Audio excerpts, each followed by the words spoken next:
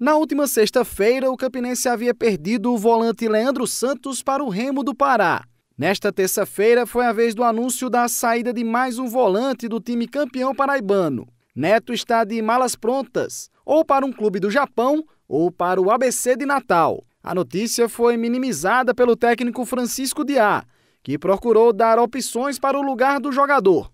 É claro que é um grande jogador, é, nos ajudou bastante, nesse título, mas não tem ninguém substituível.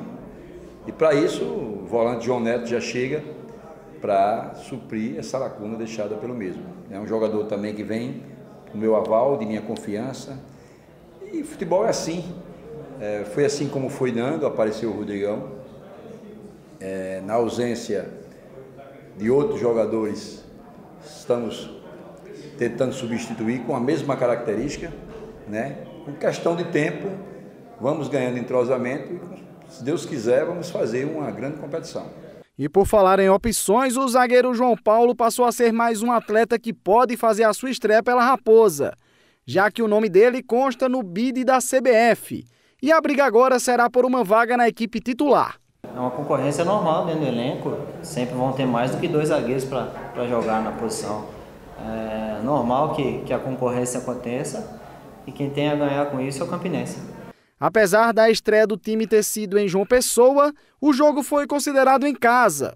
E o comandante rubro-negro promete um time se comportando da mesma forma, tanto dentro dos seus domínios quanto longe da Paraíba, sem deixar de lado uma característica bastante cobrada pela comissão técnica.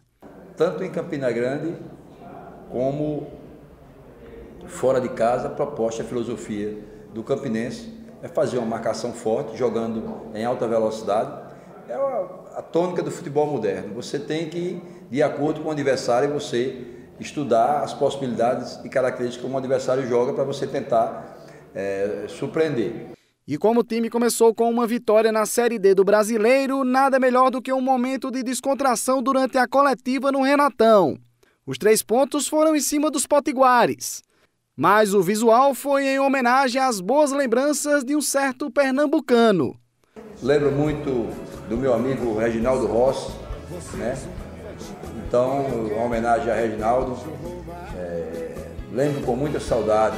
É, me lembro muito da Raposa e Azul. No fim do baile na minha lambreta, aquele broto bonito ia me abraçar